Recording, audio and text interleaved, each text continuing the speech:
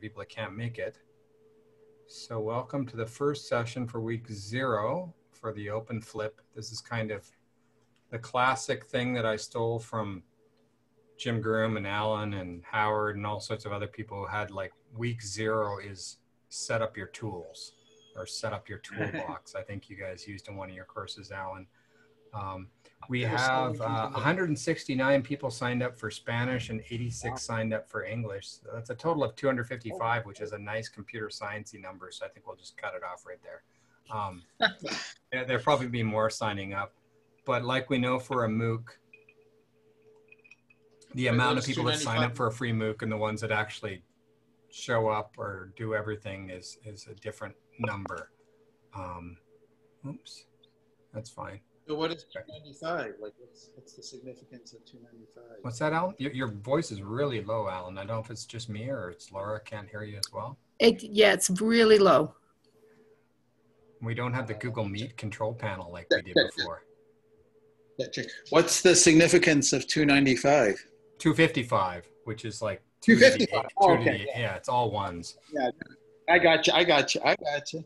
Actually, I think I, I hit that blog post number the other day and I tweeted it out because it's, it's significant as a computer scientist.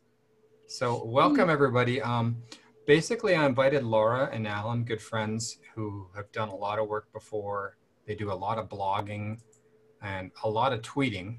I'll, I'll share out uh, links to their to their blogs and their Twitter, etc. as we go forward. The the kind of the session today I wanted to talk about. Welcome, Daniela. Um, Hello.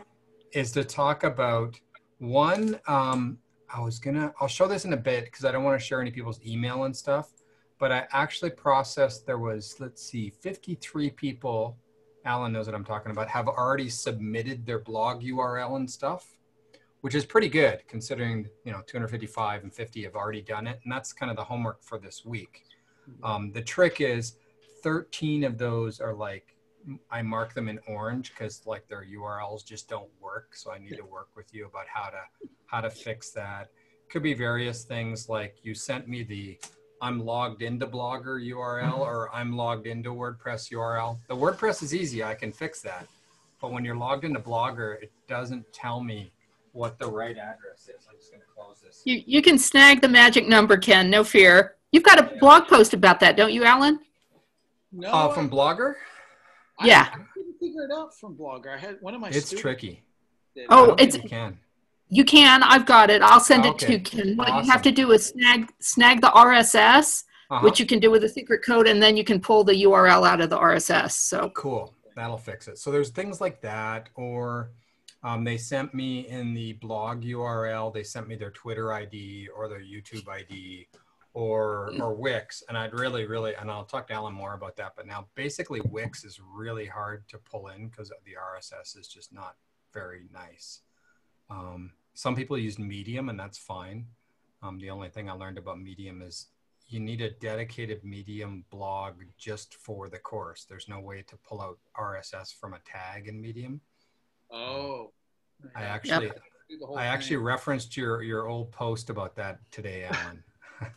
I was digging it out, but yeah, you, you can you can get an RSS for a tag site wide, but you can't get an RSS for a tag for a person in Medium. But Medium's a great place to write if you want to write and, and the RSS does now come out fine for our syndication. And I've actually set up the site. I'll just uh, quickly give a view of that. Oops, I got to go to the right place, Ken. Theopenflip.com summer 2020. Mhm. And uh, one of these days, I'm going to replace the default images that are showing up. Like it's just the default random images that come with a theme. But there's already some structure. I'm leaving this center thing to be just the introduction. And I like that it was English and Spanish, right and left. Nice. Um, and the registration's still there for people who still want to subscribe. There's still time because this first homework, which is really homework zero, is this week. And then on the left, there's uh, recent entries in Spanish Nice. and recent entries in English. And if you don't have a um, image for your blog post, you get an image of my dog Bailey, um, which I'm sure Alan will approve. I was going to use something else, but he, he said we had to use Bailey. And so there's there's the Spanish and the English. And actually, if you click on this too, it will go to all the entries in uh, Flipper's Spanish or the one that's Flipper's English. So you can start to browse around and see people's uh, posts that are starting to show up in here. Nice. Um, you'll also notice that if you click on someone's post, this is important for me, it'll actually send you to their site. Um, it's really, it's not anything bad. We can say that we understand and we keep going. Um, and we can see the post from that person's site. I like to make sure that when you click on somebody's post, you're going out and going to their site and possibly commenting on that site. That's really important for me. And then on the right side, there's a search bar, which might be interesting later. The tag bar might get interesting. Get creative with your tags. So when you're writing on your blog post, you know, hashtag banana or hashtag uh, Felix or hashtag Bailey, whatever you want to put in hashtags in your post. We'll start populating this cloud. The most recent uh, video of the week in both English and Spanish are on the right bar. And I've still left these posts. Um, they're quite old now from Dave Cormier, but they're very relevant and very good if you want to take a look at those posts by Dave. And then all the other stuff's pretty self-explanatory at the top. I uh, explained that in an email I sent out via Tiny Letter. So hopefully that's all important, and hopefully there's not many too too many typos in the letters I'm sending out. That's great. I just sent the one in Spanish out, and I forgot to change the subject this Um, morning. I don't know if I'm allowed to make questions, but yeah, go, go ahead, uh, Mons. a coworker asked me in the morning if even if the emails that she got were in English, she can make her blog in Spanish. I don't Yeah. know if that is allowed. No problem at all. It was a little bit confusing, Monse, because I had the two signups for Tiny Letter, and some people did the one in the English one, but they really wanted the Spanish one, and vice versa. Before I was smart and changed the text so it's a little more obvious. Um, and some Yeah. people were kind of freaked out, so I manually moved them. But it doesn't really matter. Um, I decided to make the site mixed instead of having two separate sites. I kind of like that. I was talking to a colleague today some of us are bilingual and we like to see the Spanish and the English ones all kind of mixed together. Um, and it's just a bigger community as opposed to two separate communities. So whatever they decide, the form's still the same. So that when they go to the form, just say, I'm going to publish in Spanish. Um, and I, sometimes I forget to even look at that part. I just load up their blog and I go, well, it's in Spanish. So I'll mark you as a Spanish flipper or an English flipper, depending on your content. Okay. Okay, thank you. Thank you, Montserrat. And, and feel free to let anyone um, sign up anytime. If anyone's listening from the Tec de Monterrey, they always ask me, is this only for us at the Tec de Monterrey? And my answer is no, it's, it's for anyone in the world who wants to sign up. They can go and jump into this. Uh, you could sign up next week too. I mean, I'm not going to stop you. Um, so you might not want to do it in week seven or something, but if you're a week or two And behind, it's a really up. great topic because when I was like in college, uh, we studied these like flip type of schools with I don't remember the name, but was in a school in in Finland that doesn't have homework that Mhm. doesn't take like the the matters of subjects like Spanish or math. They took like um manual work and start like gardening and with that they learn about physics about yeah it was super exciting for me reading that Lovely. No, like kind of project-based learning. My my two younger boys went to a school here in Guadalajara that was called uh, Colegio Finlandés, and it was based off that Finland model. And they wouldn't do sessions longer than about 40 minutes, and then they'd take a break. They they really would reduce the amount of kind of sitting in one spot at the same time, which I think is wonderful. Um, and yeah, they followed a model of no homework at all although Mexican culture kind of doesn't like that. So the parents started leaning on them to have more homework because that's what they were used to, and things started changing. Um, but that's a that's another here and there. But I haven't checked out what they're doing here in Guadalajara lately. Also located in Querétaro. Um, so any, any other questions? Um, I, I'm everything's open for for the discussion here. I brought Laura and brought Alan here as friends and experts in blogging and tweeting. Um, I don't know how much videos Laura is doing of loading up videos. I don't think much at all, are you, Laura? Well, I love the making playlists and and Uh-huh. randomizing my playlist, but I use other people's video. I don't right you're doing on my own. curation which is a great thing too Right. that's excellent so um what we're asking them to do for this course just like i did at the other years you joined me years ago laura i think the last time i did this was four years ago is um, upload a blog post and then upload an accompanying video usually of them or they could do it in powtoon or they could do something different. I think it's Mhm. more just to to try something new. A lot of them haven't made videos before so i think it's a good thing to see them make videos. Often those first videos are very robotic and reading off the screen and then by the time they do the, the, the week seven they're much more comfortable and ready to decide do i want to do this for my class or maybe maybe i've seen something somebody else did on their videos in the course and that inspired me to do something different. Um, so that's the kind of idea behind mixing both the video and blogging. And then a lot just haven't used twitter like you know like alan uses twitter and you use twitter and i use twitter every single day um, to connect and, and network. So i think that's that's the three tools we're kind of leaning on and we'll let everyone grab what they want. Did you have any thoughts or questions daniela that you're here as well you're muted up by the way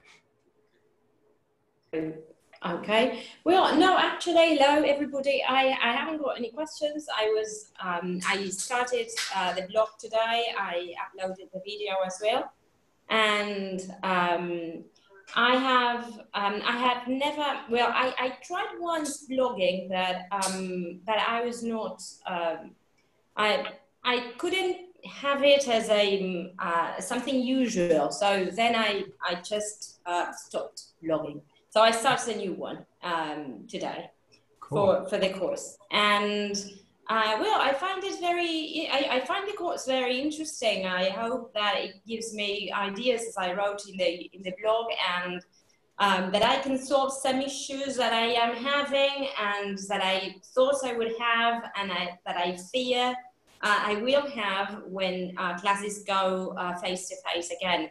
I'm in Argentina. We are now in, in the second term and uh, we are in lockdown. So uh, everything is online. I had planned to uh, use flipped, um, flipped learning and flipped teaching, the, the flipped classroom this year, but then I had to change everything because apart from being flipped, it was going to be online. It was, so it has become like a lot of changes for my students altogether.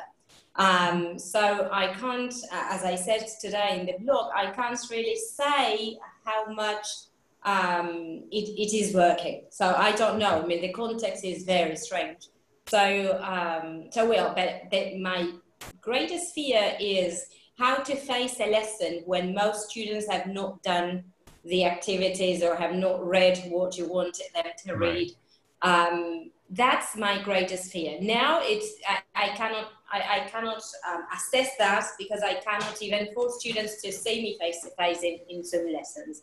So um, there are students who just go online anytime and see the, the recordings of the Right. lessons. So it's it's a mixture of everything. We do what we can do actually. Uh, but well, let's say what strategies and what things we can do for those students uh, who who don't do their homework, right? but but well, I'm very interested in in sharing experiences and, and things. Yeah.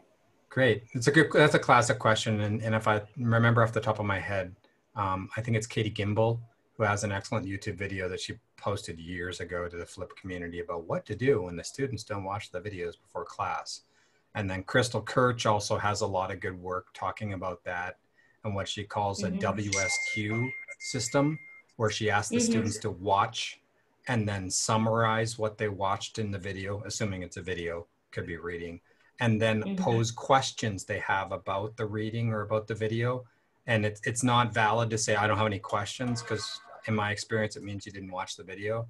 Um, and then, then I ask them to go a little bit more meta and ask me the question that you think that a different student would ask if they didn't understand the video. So it makes them think a little bit more metacognitive about the material.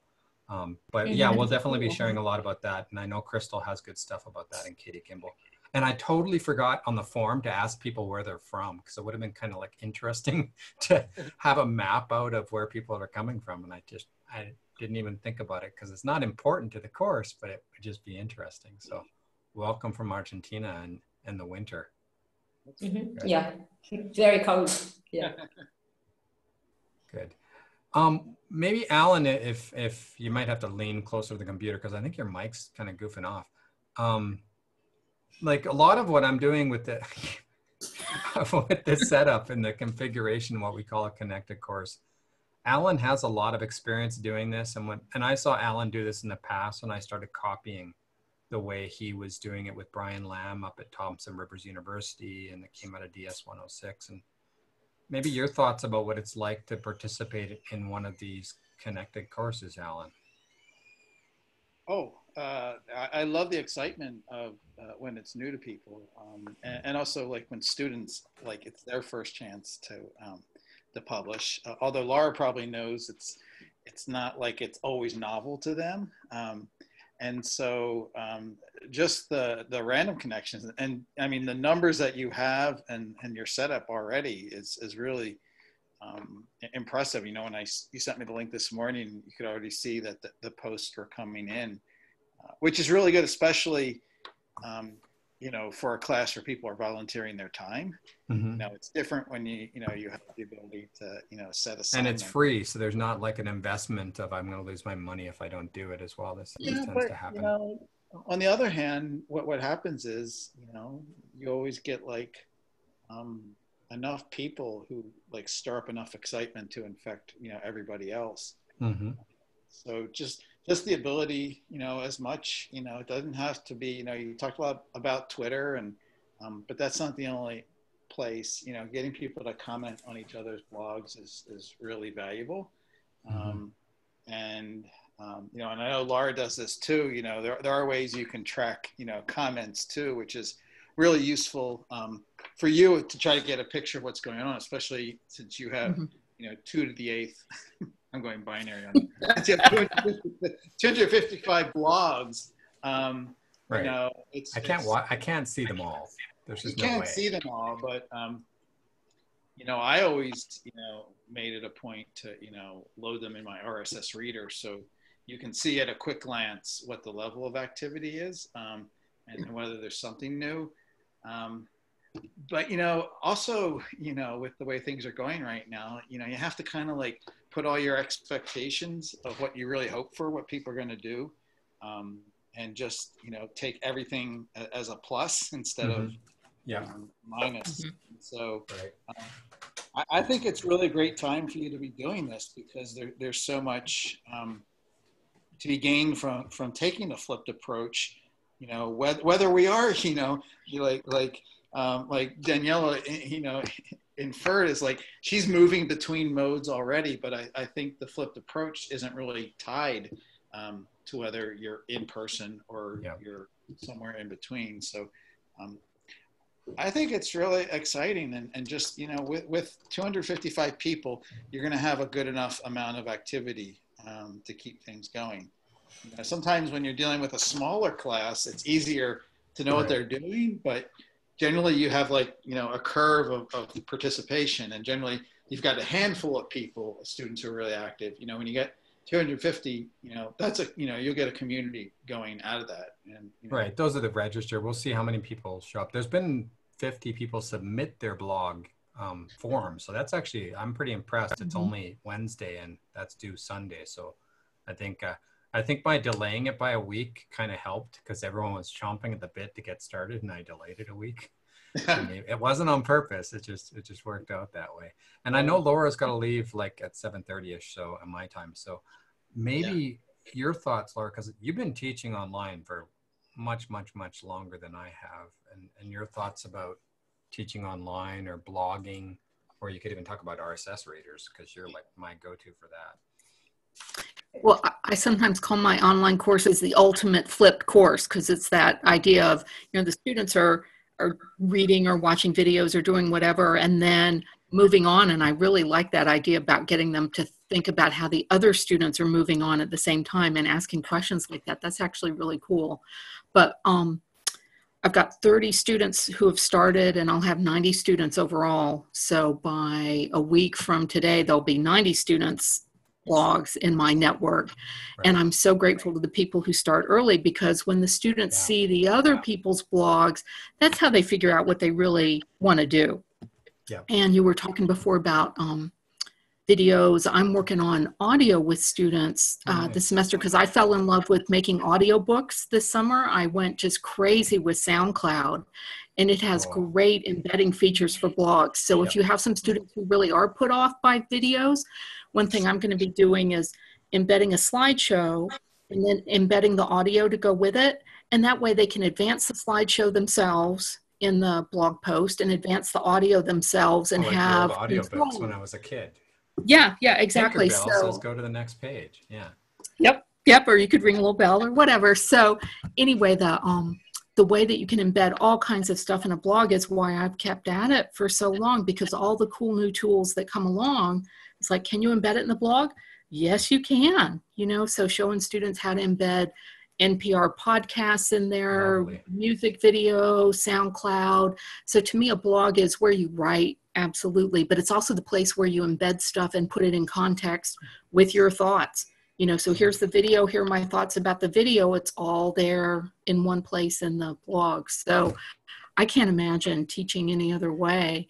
And the students really do get excited about it because even if they blogged before, lots of times the instructors haven't themselves been bloggers. So they don't get all excited the way I do about, Right. hey, did you know you can embed a Twitter feed there in your blog? You can have Be an actual tweet with all the comments on it and just Uh, TikTok videos. Oh my gosh, Instagram, they all want to go in the blog. They've got really good little embedding tools. So I'm kind of sad that there's not as much RSS as there used to be, but embedding tools and iframe and being able to embed stuff in blog posts is really, that's really fun too. And in some ways, that's more fun for the students because I never got them that excited about RSS. But they do get excited about embedding stuff in posts. And I think also sometimes for our students, I mean, I, I do this with my students as well. This is how my course is running, and and getting them out of that routine of the five paragraph essay in their blogs, and getting to be more creative and throw some memes in there and go nuts. Yep. Daniela's got your hand up, so maybe did you want to? Yeah, I, I wanted to. I wanted to ask, how do we get to say the other participants' blogs? Um, go to the, the main site and you'll start seeing them. As soon as they start posting, they'll be there. And, I, and I'll right. explain that more. Actually, I'll send out a video um, for the video I send out on Sunday we'll really kind of explain that a lot more. And Alan built this cool thing where there's a random button and I need to implement that on our site. So you'll be able to just hit the random button and it'll randomly take you to just somebody's blog post, which is really kind Okay. of fun too. Um, so I'll get All that happening probably later this week. Laura's middle name is random, I think. She always- True, it's true. I love randomizers. Yeah, I love the randomizers, and um, Alan built that. And I remember we we kept making requests to have it do different things. And um, there was about audio too, Laura. Clint Lalonde just posted today. He put a plugin on his WordPress site so that it will read the blog to you with like a kind of robot voice, but it's a cool little plugin. So I got to go check that out. I just saw it. Oh, I haven't cool. haven't gone to check it out either. So that's kind of a nice audio mix for free for people that that want to be able to listen to your blog and not have to read it or they maybe they can't read it so that's cool I've got a, a browser extension that I recommend to my students, which is a text to audio thing. And all you have to do is highlight a chunk of text anywhere in a web page and it will read it to you. So that's really fun. And we're Nice. doing microfiction now in my classes. And I learned that a hundred word story takes less than a minute to read out loud. So that's why I got really excited about the SoundCloud. Because if you're recording audio and you flub something, it's just a minute. You re-record it. You know, Right. it's not that whole kind of stressful, oh, I just got to the end of it and I just flubbed it. It's like less than a minute. I'll record it again. So yeah i played with audio a bit this this summer because i took the creative commons certificate course and at least one of the assignments i recorded an audio piece put it up on soundcloud and then embedded it inside my in my blog Yep. post for it as well so yeah it's I've been, I've been having a little bit more fun playing with audio so i'm going to mention that in, in the assignment uh, for next week as well as um, i'm just reminding myself to talk about rss readers i could go a little bit geeky on that i like to go like low level on some things but point to the cool geeky stuff that people might want to dive down on but not everyone does I think it's RSS really feeders worth it. are cool I think it's worth it for um, people. Yeah. to know how to do that. Um, but for many reasons, um, you know, going to the website, you kind of have to like scroll through to see yeah. stuff. So I think it's a, a really good skill for um, people um, to have to be able to have a way to sort of get all the information coming them almost in a, you know, to me, it's like the email inbox form. Yeah. You know, the new stuff is bold. You can, you can just browse across all the blogs really quickly without having to scroll through pages. And, and I pages. think if you see it happen, you, you go, oh, now I get it. So it's, it's, I think it's something I should record a video about and I go, oh, now I kind of get what this RSS reader is and it's not a scary thing. It's really nice. Yeah, because you know, I don't know if, if you want to go super geeky, but you know, I I would try um, with my students. I would like set up um, like a package of all the yeah. RSS feeds, right? Um, make it easy to pull in um, yeah. And I know I'm throwing a bunch of acronyms out there, um, but the idea is um, is that way people can sort of like you know it's easy to scan stuff on these devices, but um, you know it can be like especially if you've got a lot of blog posts coming in, you know, and you're going to only see ten on, on the page. Um, you know, you're going to miss a lot, and and um, and maybe you're not going to know which ones you've already read, which you know. Do, do your students do this, Laura? Because one thing that's cool that you can do with like an RSS reader, I can say like load in all the people in the course, whether it's 50, 60, whatever. And then they mm-hmm. could like put stars and then just choose five or six people they like to follow and then kind of have like a mini feed of the ones that are important to them. I think that might be useful for some students too. Because I'm thinking yeah, about have... that for this course. Make it make a cohort, an informal right. cohort, because you can't follow everything in a bigger course.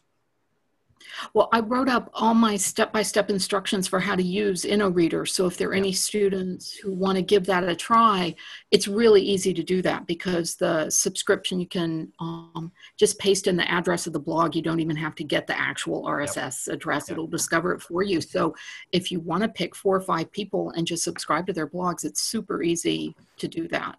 So. Yeah, I should demo that for sure, and then I'll point to your blog about it. I know you. I know you have it. Laura's my go-to on the Inoreader, and I'm a big fan of Inoreader too. He's amazing. Yeah, yeah. I, I, actually, it's my favorite one to use now. Um, and and um, we probably would talk way too much about RSS, but um, you know, what, what, I always love is that point where people start to figure out. Like at first, it's like, what do I write my blog? How do I write it? Um, when right. they find their own sort of voice, and you know, my my last couple classes have been you know, teaching as more, and it's you know an English writing program. So a lot of times we had students come in who already think pretty creatively, but often um, for people to figure out like, wait a minute, I don't have to sound like I'm writing a paper. Right. Exactly. I, I can have a yep. persona. Um, I can be serious. Um, you know, I had a student who decided to invent her own language. And so she would kind of come up with her own words. Um, cool. and you know i had other students who were just really kind of filled their course material stuff with pop culture references. Um, you know the mm-hmm. joke was like how poor i the teacher knew the pop culture because right. they're trying to they're trying to get you um, awesome. and, and it's fun you know? So you know it also um, kind of um, you know it, it changes that that, that teacher student space you know when, when you're also writing in the same environment and that's where a bit of the meta thing is of, of this is you might see the format that we're doing this course and then it might make you think you know maybe i could do this with my students because the, the power of having my students publish in the open is a really mm-hmm. big deal and and some of you taking the course will notice this and that's why it's great that some are posting early because you can go oh now i kind of get what i should be doing for this assignment when you see someone else's and that's okay and, and right. it took me a while for my students to get that but they love that they can see what other people are doing and think, oh, I can riff off that and I'll think how to do something else similar or not. And, and be creative and, and, writing in the open and, and publishing your assignments in the open is a really powerful thing to investigate if you haven't done it before. I've seen some really good things come out of my students. The group I have this semester is nice because a lot of them have taken classes with me three or four times and I'm mm. weird in the way I do things, but now they're used to it. Um, and so they, they cut a little bit more loose and they, and they know how to, they know how to just do what they want to do for, for their learning process and what they're writing about. I, I totally rely on that system. I put links in my assignments that go to the blog stream for a particular assignment. So I have Inoreader assigning uh, little tags to the different kinds of things students are doing. So introduction posts, their first story, their storybook plans, and those have a URL so you can just link to it. And so when they click on the link in the instructions, if they want to, they can see what other students have done. Now, some students don't like doing that. It's a real turnoff. But for the students who really would rather look at examples than read the instructions, go right ahead. That's fine with me. However you want to do this Yeah. is good. So, That's nice. It, it works good. I used to try to encourage my students to use the hashtag homework one or what whatever the hashtag for the homework assignment, and then the word cloud starts to fill up, and they can click on homework one, and they're looking at everyone's homework one what post. And I've still got ones from like seven years ago or six years ago, and my current students are finding the blog posts for my students from the past Nice. to work Yep. on the assignments. And I say, well, you know, throw a comment in there and say, thanks, Tonio, for the like great idea. And then Tonio finds me and he's like, Ken, Ken, someone just put a comment on my blog that I wrote like four years ago. So yeah, that's one of my students. It's beautiful. And then May, may I ask you something? Um, have you ever had trouble with people not wanting to be publicly Yeah, uh, yeah. publishing things? you got to be careful with that. Um, I, I, at the first, I didn't think about it so much because I'm, I'm like a cis appearing white male and I have privilege and I don't have to worry about getting, you know, doxxed on the internet and other things and the trolls attacking me. But yeah, you have to have that conversation with your students if you do this. Um, you have to be right out front with them and you have to say when someone does something, puts a bad comment on your blog or calls you out on Twitter or whatever, it's not your fault. Um, i'm here to talk to you about it and we can we can work out how, what's the right solution for you. Other students they want to be anonymous. Actually one of my students right now wants to be anonymous. He wrote that in his introductory post this week. Um, and he says i know that someone be, would if they really wanted to they'd be able to figure out who i am or one of my classmates will like accidentally put my name in the comments of my blog. And so you have to have the conversation with the entire class about this. Um, Mhm. and then i do give them an out. Like if you don't want to submit on a blog then just submit on a google doc somewhere that you can share with me or a google google drive folder Right. just with me if if you need that. And i've had students that they have parents that are like high level government officials and they just really don't want to be visible on the internet and and that's an option Right. too Mhm. it's a great Right. question daniel Yes. Yeah, it- it is, and I, I try to like you know when students are creating their blogs, I really encourage them to think about like they don't have to name it anything that has anything identifying. Yeah. and so, you know some of them just go right in and they'll they'll just blast their name in there. But um, you know as long as I know who they are, um, Yeah. it's fine. And you know and, and like it's like the camera thing. It's like you don't have to students don't have to publicly blog. There's know Yes. I, I've always I've had a few where they just want to submit things um, as documents. Yep, and and and, it, okay. and it's fine because they can still there are ways for them to participate um, you know reading favoriting um, you know and they can contribute um, so you don't you know just take away that idea that students always have to like um, you know they, they can present themselves however they want. Um, that's how i like it Right. Yeah, because what I what I did this year was to use Padlet, and so I tried to do something as what you're saying, uh, but it, it's still within the group, so um, it's not open to anybody. And what I do use is SoundCloud because I find it very useful for the comments that I can leave in different parts of the of the track. And that's when the problem started, when students did not, they, I needed the, the tracks to be public so that I could make comments. And many of them started having trouble. And so, well, I asked them to change their names, and I didn't have any Yeah. trouble with that. But this was an issue at a certain moment. Yeah. That's what. That's why when you were talking about blogs for, for the whole course, I said, mm, I think that my students, I, I know that there will be some are going to start complaining and Yep. arguing, say, yeah, I don't want to, yeah, things like that. and that's okay yeah. too and, and i've had students and then they find out what it's about and they get it and then they keep doing Mhm. it later i had a student who's in victoria in my hometown now she was here and i was like why are you in my hometown and she just um she was in a magazine and she she had a blog post in some magazine i'm like that's so cool that you're still vlogging like four years later after the first experience she had in my course and and her and another friend spent like days make choosing the right themes for their wordpress blog and they went crazy about you know Yeah. making it the best looking blog they could um, and they weren't worried about the content which was great i mean they were like they were doing it their way and and it's so cool to see them continue that years later they keep using these tools and that's part of why i'm throwing that at all of you but Mhm. also why i throw those at my students how are you doing for time laura Mm. because i'm reminding you that Exactly. I was about to say I should go, and I'm going to go. But um, I'm glad to be in touch with anybody uh, through Twitter about blogs and blogging, especially RSS readers. Padlet is one of my favorite tools because it has RSS, and you can blend that in with the blogs into the feed and stuff. So anyway, I'm glad to answer questions for people anytime if they find me online. And I'll share out the links to both Thank you. Alan and, and Laura when I send out the email with the recorded video. We'll love Okay. it. Thank you so much, Laura. It's good to see you again. thanks. It was great to see you, Ellen. Good to see you. Laura's amazing. We, we've known each other online um, since the 90s. Like, I, I probably don't even Yeah, know. since Yeah.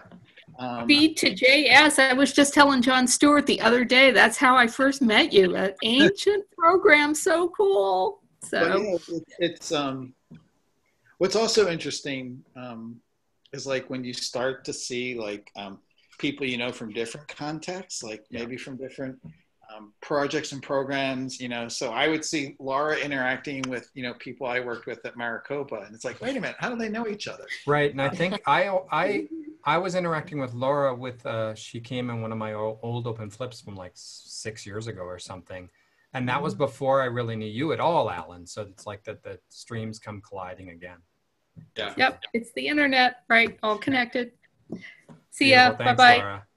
And welcome, Rocio. I know you came in and I didn't didn't welcome you. And Derly's been here since the start.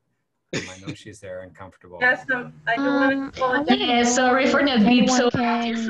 can- Oh, sorry. No, go- go ahead, Rocio.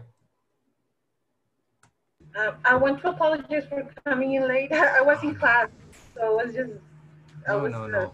I'm trying to squeeze everything in. Um, we're starting classes next week, but I'm already working with the porter. I, I work in a university uh, for in, in quarters, so I was actually I'm going out to a class at six, so it's kind of hectic, but it's gonna be fun. I know that.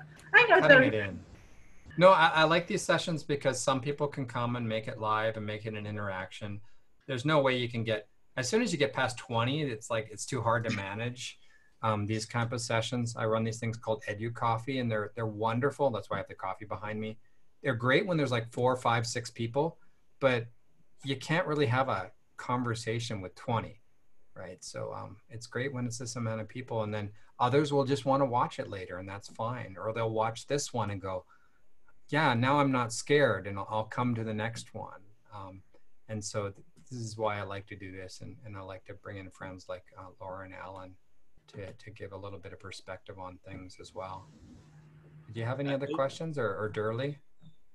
Yeah, it'd be great to hear from well, people's first experience. Um, I want to know like if anyone can gives me an advice because I'm an English teacher in here in Mexico.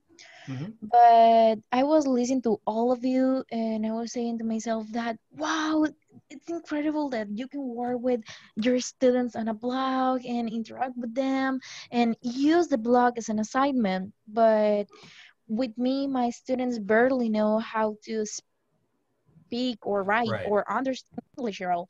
And I have like 20 students in all the groups. I have like three. Mm-hmm. But I want to know how to use the blogs to work with them, even if they are starting to learn English. That's a tricky one because Derly might have a better answer there because she's got more experience teaching English, and I, I don't teach English. I teach in English. Um, Right. I don't know if she's got her microphone able to open. But um, what Laura was saying about doing audio, I think for language learning, doing audio recordings is a really excellent idea. Um, and and then they can hide behind the anonymity. They don't have to put their face on it. And the audio practice is really really important. Um, getting students, and especially in a COVID world, of getting students and teaching them. Um, um, Alan and I, our colleague Tannis Morgan, wrote a post, and, and she says that we really need to kind of let our students know how to do group work and, and really be specific about how they do it and maybe even setting it up. So I would think for language, you'd want to set them up in pairs to have conversations and perhaps record those conversations. Maybe not publish them publicly, but at least share them with you. I think that'd be a really good idea. Um, not necessarily written. Like I teach um, in English usually, but my my call it my students might not want to publish in English, and that's fine. I say publish in Spanish, publish in English. I get international students all the time, and I've had them publish in German and, and French. I'm like, well, sure, whatever, it's fine. I'll just run it through Google Translate so I can try to figure out what you're saying because my German's not great, my French is okay.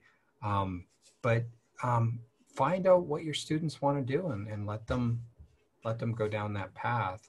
I think what's important, Montserrat, is to model what you're asking your students to do. It's really hard to tell your students to be bloggers if they don't look at you and go, "Well, you're blogging too, right?" They're gonna. Yeah, I don't want to push them to any yep. adversity.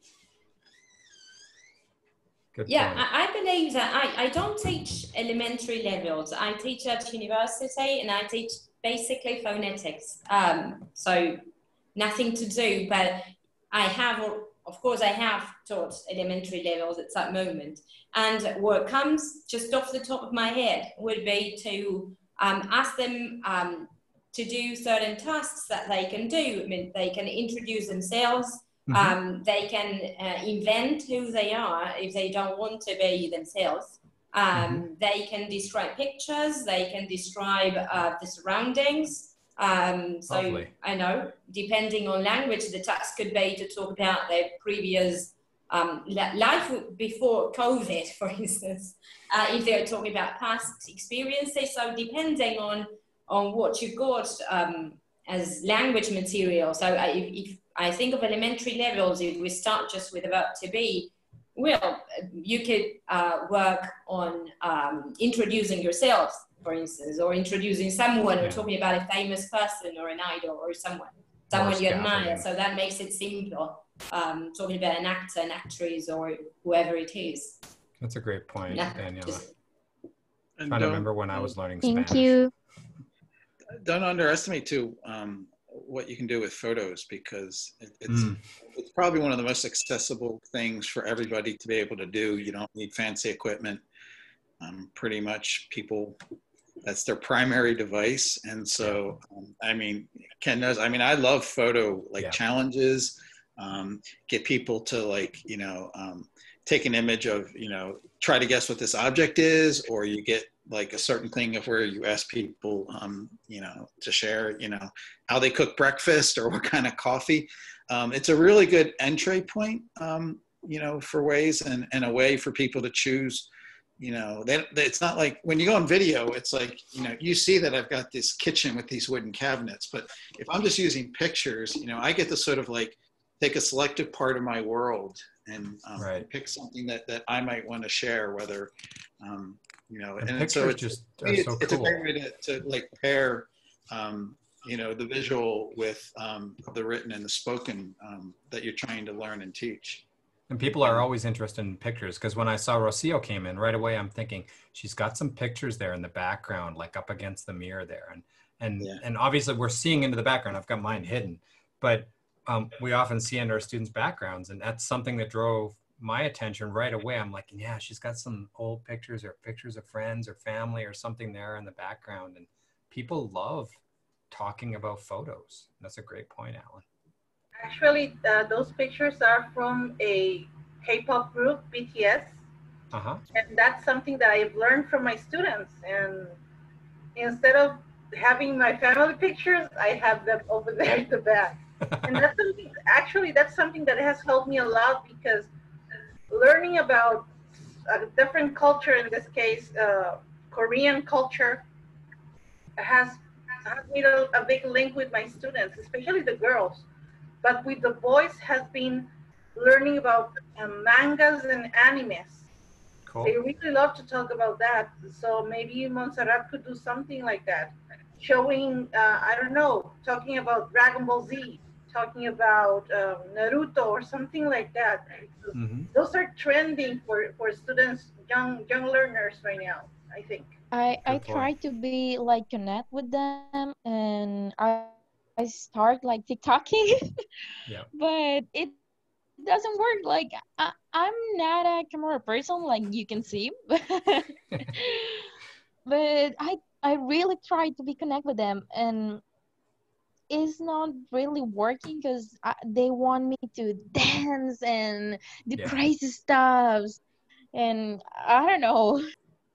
it, it's hard online um, and i think the biggest thing i found with, with getting my students engaged and getting them to open up more is it's a matter of trust and it, and it usually takes me two three weeks to build up that trust where they're they're not going to think i'm going to like give them a bad grade for saying the wrong thing or, or you know whatever the students are thinking with their teachers so I, I think it does take time, and that's something I'm struggling with because we have courses that only last five weeks now. Mm. So I've like barely got to know them, and then I'm saying goodbye. So I've really had to put a lot of effort into the first week of really spending time trying to get to know my students, and and I think that's going to be really important, and more so now that we're we're talking through a screen, and we got to be like over the top when we're going through the screen, and doing crazy things or I should do this more often. I should put like a video game picture in my background, and then the students go, "Oh, you play video games like we do," and then and that starts the conversation going, um, as opposed to just being a boring fifty-something-year-old guy here in front of the screen. Yeah, So, it's great point, it's hard to be here and try to Yeah. look like a person, like a human to them. Uh, because when I was the classroom, I always have like my notebook or my carpet with Sonic pictures Cool. because I'm a fan of that game. And my students went like, "You play Sonic? oh, cool. Whoa, but you play Minecraft?" Yeah. And I was like, "Yeah, I play. Can you give us your username to Yeah. play with you?" And, and I was like, "Um, I don't think that that is allowed, but okay." But being indirect and sharing would be great. Like throwing your background with some Minecraft in the background or something. I mean, of course, we got to follow some rules. Maybe I'm I'm bad at like not following the rules, and I get away with it. But we got to be careful about those kind of messages we're sending to to teachers that need to be a little more following the rules. But um, yeah, I um, I think you're gonna gonna connect with some people and get some ideas over the over the course, and and the fun was seven weeks. Have you got your microphone able to be opened early and I can hear you again? I miss you. yes, I'm here. I was thinking about the Montserrat experience. I think that, well, I study materials development, and one of the things that she can do is like uh, make activities around topics.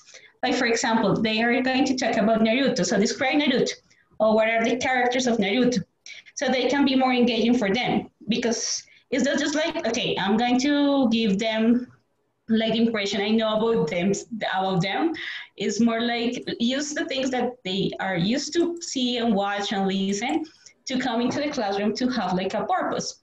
It's kind of difficult and sometimes developing that material is not easy because it's time spending and look for the uh, resources and you need to learn about those things too.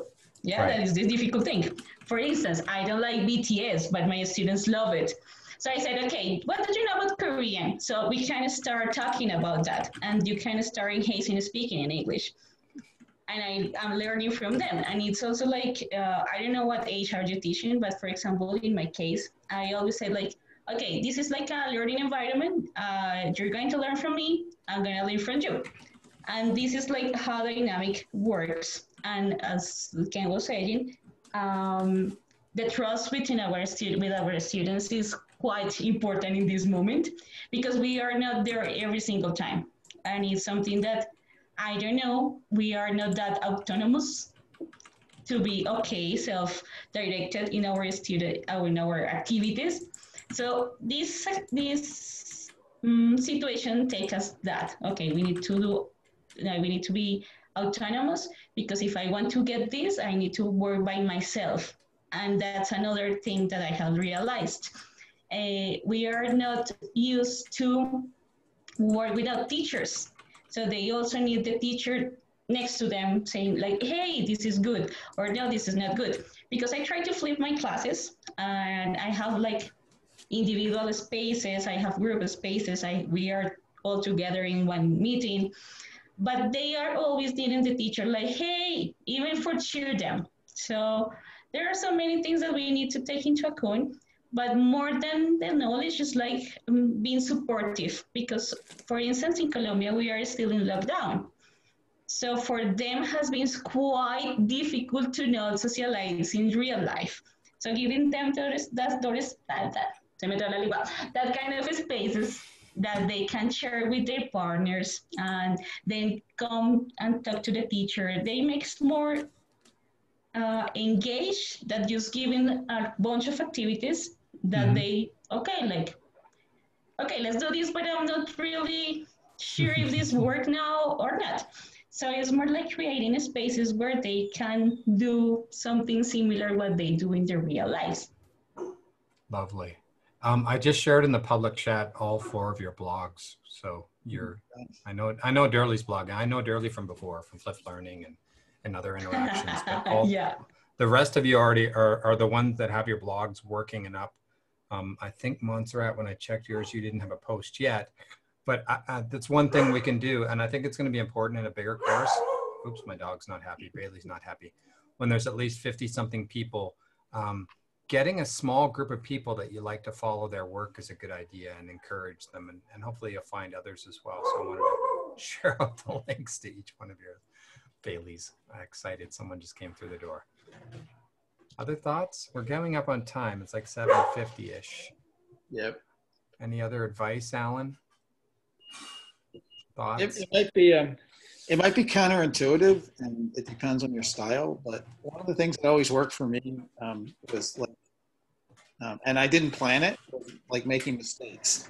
Like when the if the technology didn't work or if I gave like wrong information, um, mm-hmm. and you know, you know, the important thing is to correct it, um, you know, and, and to show that. So sometimes there's all this pressure to get everything right and perfect, and um, I have to tell you, the technology is always going to let you down. It's going to break. it's going to it's to break. Um, the internet won't work. Um, the students, you know, they'll have trouble doing something. Um, you'll realize that your instructions are missing a key step. Um, and so, like, once you like, like, take off this mantle of trying to be perfect, and the students can see like that you can struggle with things too, but then you can sort of, you know, come around and and and, and come to some solutions. And so, um, you know, my approach has just been to like, okay, if I mess up, okay, I'll just have to figure out a way to, mm-hmm. to fix resolve, but to sort of, you know, take off um, this idea that I have to be perfect and everything yeah. has to work. Um, it, it relieves a lot of pressure for me, um, but I think it helps students to see as well that, um, you know, people naturally have to deal with challenges and things. So um, if you're worried about like the technology um, letting you down, I just will say it will happen. Yeah. But we're bigger than that. And you know what always happens is you improvise or you come up with another way to do things so when mm-hmm. you know the padlet thing you know blows up well then you have to find well maybe i'll do this in voicethread or maybe i'll do this in, in google docs and so um, it's it's kind of the it's a little bit scary but it's also like liberating when you realize you don't have to be perfect it's an excellent point and i've always followed that i remember from my first time teaching i would say I'll reserve the right to make mistakes on the board, and sometimes I might just make them on purpose, just to just to throw people off and start the discussions and get things going. Because I think it's important to to model that we make mistakes too. And, and I think students feel better about themselves when they see us making mistakes. I like to leave like fumbling over my own words in a video that I make. I'm like, I'm not going to edit all that out because it's too much work anyway. I'm just going to record the video and crank it out growth mindset is a much than teaching. So thank you for everyone for being here. This is this has been really good. I'm I'm happy. Um, I will be sending out a message and, and letting people. There's people stumbling over things, not setting up their blogs easily, and there's there's tricks and things, and and I'll send out some messages. I'll, I'll record a couple of videos like of how to publish a blog, how you can, how to put an image in your blog, and how to put a YouTube video or an audio or other things, and um, try to model that a bit as opposed to me just assuming you can all figure it out. I know you can figure it out, but sometimes it's useful to see someone else doing it. Um, so I'm going to do those kind of things this week as well. Give them And then tomorrow we got the Spanish version. You're welcome to join that one too if you want to. Alan's been here in Mexico. His, his Spanish is okay. I've been in that room with. You've been in this house. You've stayed here. Excellent. So thank thank you so much, Rocio Montserrat and Larry Yeah, and great to meet Daniela. No, thank you for, so much for having for having us here today. Thank No, you. And come back. Yes, we do this again same time tomorrow. That the Zoom session's a different link. So if you don't have the link for the Spanish one and you're bilingual and you, you don't you want to go to the other one, just let me know and I'll send it to you. But it's a different link actually to try to avoid confusion of getting in the wrong one. Mhm. Although I might screw Right. up. All right. Well, thank you so much, everyone. I'm going to turn off the video